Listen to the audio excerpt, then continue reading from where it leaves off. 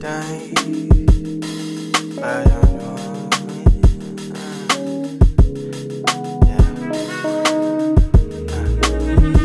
was the kind of simple man who never felt understood. Evacuating no plan, survival is all they could amidst the circumstance. Believing the hope and good would guide them across the land, secure their own livelihood. But how could they all have known the truth amidst the deceit? Believing we hold our own when knowledge ain't so complete. Complicit to all the bias, so they simply took a seat. Took a knee down on the pews, genuflected to defeat. They conceded to the norm, wonder if they took the time to hear the spirit that calls and whispers of a past life. Before the power was lost and history was erased, accepted his very fate. They didn't care anyway. So what happens for the child? Many who sees a day, the many who lose themselves when seeking that type of fate. They no longer hear the cries, they no longer care to pray. They no longer want the lies for his mind is set it straight, set it straight, yeah.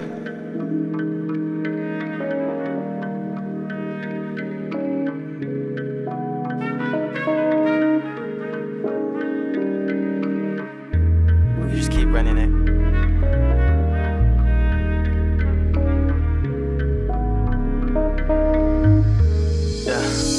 Several decades later, the children now own neighbors, returning all these favors. Yet the bonds still waver. Generational pain, still in for acclaim. Stealing money but flame, the individual hate. He was familiar with disdain, anxiety was to blame. Never had abuse, but the pain still lacerate.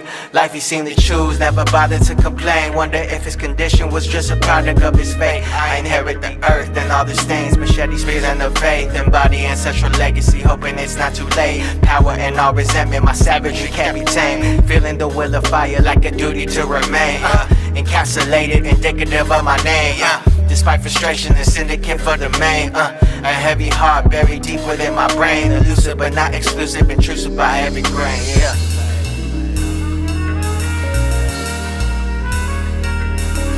Let these stories live through all the pain.